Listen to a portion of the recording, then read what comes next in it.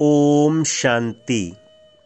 आज 22 फरवरी 2023 है। प्यारे बाबा ने हम बच्चों को प्रतिज्ञा द्वारा अपने संपूर्ण रूप से परमात्म प्रत्यक्षता के निमित्त बनने के लिए अव्यक्त इशारा दिया। बच्चे बाप दादा के सामने तो बहुत प्रतिज्ञाएँ की हैं, लेकिन अब से लेकर सिवाय मणि के और कुछ नहीं देखेंगे। यही प्रतिज्ञा करो।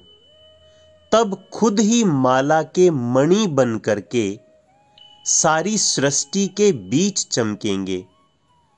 जब ऐसी प्रतिज्ञा करेंगे तब ही प्रत्यक्षता होगी। अब प्रयत्न करने का समय गया।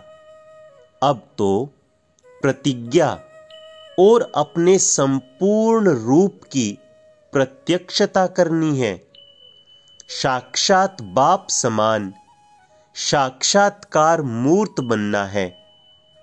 ऐसे अपने आप को साक्षात्कार मूर्त बनाओ तो प्रत्यक्षता का झंडा